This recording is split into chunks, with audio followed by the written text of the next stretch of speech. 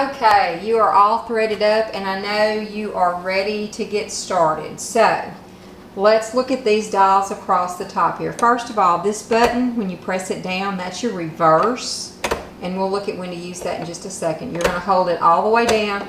You have to hold it down and it goes in reverse as long as you're holding it and then you let it back up to go back forward. This first dial is your thread tension. This controls how much tension the discs that we talked about in here have, how tight they're squeezing on that thread. So they have little lines between the 3, 4, and 5 because that is primarily where you're going to want to be positioned for most sewing. As we go along, you'll see, you know, how to know when to adjust it. So I'm going to leave it at 4. Now, this dial is your stitch width. And we're not going to be concerned with width on a straight stitch because there is no width. It's just going straight across. But now when we get to a zigzag, the wider it is, the more there is from point to point. Like some of them will be little bitty and some of them will be wide. This does concern us because it also controls the needle position. If you look just above it, there are some raised diagrams. They're not in color, but if you look on your machine, you can see it. And this tells you if you roll this wheel this way to the left, it's moving your needle to the right position. If you move it to the right, it's moving your needle leftwards.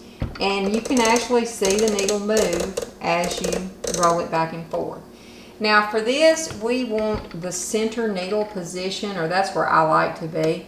So I'm going to set this right in between the 3 and the 2, where that little raised notch is. In between 3 and 2. And then this dial over here is your stitch length. So we are going, I usually use about a 3. I'm going to leave it there. This is how long your stitches are. Are they tiny, tiny, or are they really long? Now when you use a zigzag stitch, your stitch length is going to determine whether you have a really open zigzag or if you have like a satin stitch really close. This dial is also interesting because all of these extra stitches that you have over here, if you look, the first line is kind of a gray color. So when you have it set from zero all the way to four, you are selecting these stitches. See on your stitch dial, your, your pattern selector dial, how they're layered. There's an inner circle, there's a middle circle, and there's an outer circle. When you have this on 1 through 4, or 0 through 4 actually, you are using this top level and the outside numbers. Now when you want to use the second or third level, or the other two circles, what you do is you roll this dial. As you roll it, just keep on going. Oops, let's go the other way. Now, when you hit the SS1, that's going to be your SS1 stitches. That's the ones in the middle here. And then you would rotate your dial to pick the number that you want. When you keep on going to SS2, it's going to be this bottom row or the inner circle. So if I have this set for SS2 and I roll it, will say over here to number 40, it says 6, 24, 40. Well, since I'm on SS2, I'm getting this number 40 stitch right here. If I roll it to SS1, that's number 24, I'm going to get this feather stitch right here. And now that I'm going back around here, to the one, two, three, four, I would be getting stitch number six, which is a stretch zigzag. So let's get it set for straight stitching, which is this first, and I'm going to put my length on three. I'm going to choose stitch number two, so I'm twirling around to the number two, okay? And make sure your needle's in center position. Then let's get some fabric and put it under here and see what it does. Okay, I'm going to put my fabric under the needle and I have it, I'm putting it just a little further past where the needle is going to go in. Let your presser foot down. Now, I hold my thread tails off to the left for my first few stitches. That keeps them from getting drawn back into the machine. I'm not pulling on them, I'm just holding them tightly. Come over here to your hand wheel with your right hand and you're going to turn it towards you until that needle goes into the fabric. That's the best way to start.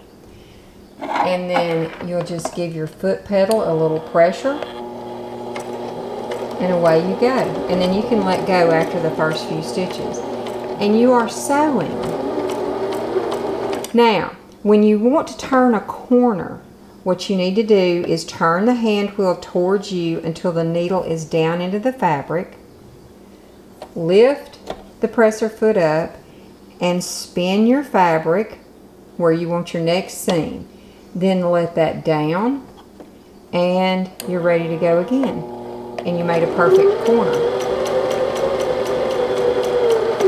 Okay, so now that we're through, I'm going to spin the hand wheel towards me and that little notch that's on here, I'm going to line it up with the crack that's in the machine.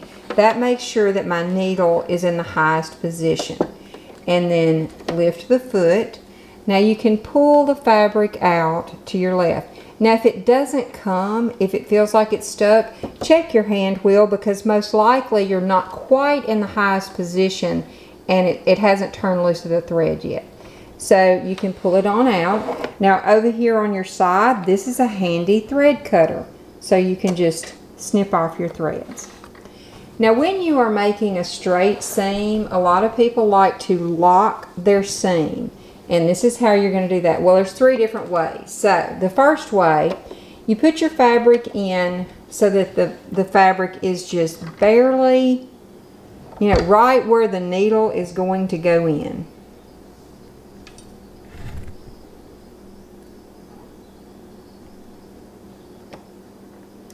You can see it under my foot, it's just barely past the, the opening there. And put your needle in, hold your tails to the left, and you're going to take two or three stitches forward. Then you're going to hold down your reverse button, the reverse button, and give it a little more gas and take about three stitches backwards. And then you're ready to go forward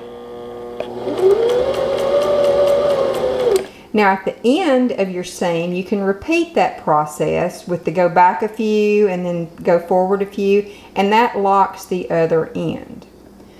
Now, okay, so let me get this out and I'll show you method two.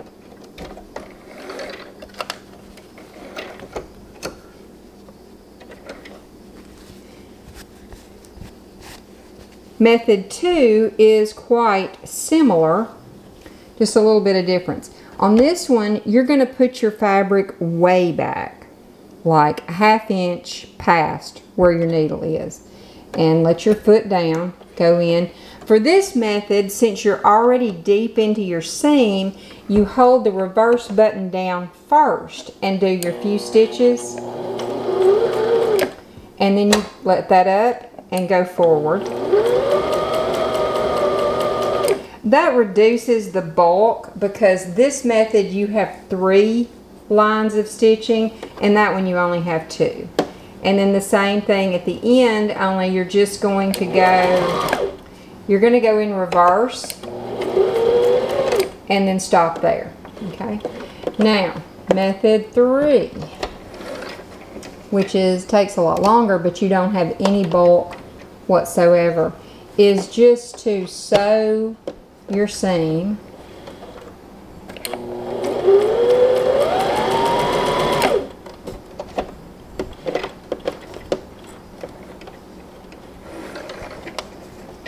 and remove it. Now, this is the same, this is the same that I did. If you flip it over, and that's a hot mess over here, but if you find your bobbin thread over on the other side and you pull it, it's going to pull a loop up from the other side.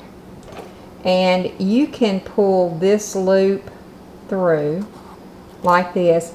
Then you can tie these two threads in a knot and you see on the top side you have a really beautiful ended seam. I usually use this method when I'm top stitching or something because I don't want it to show that I've gone back and forth across it. But you just tie those two in a, in a little knot and you're good to go. Alrighty then, I hope you are making some wonderful things. Hit that subscribe button for me if this was helpful because we are going to go through all these stitches eventually. So check back with me. We'll have more videos up soon. Thank you for watching. Bye.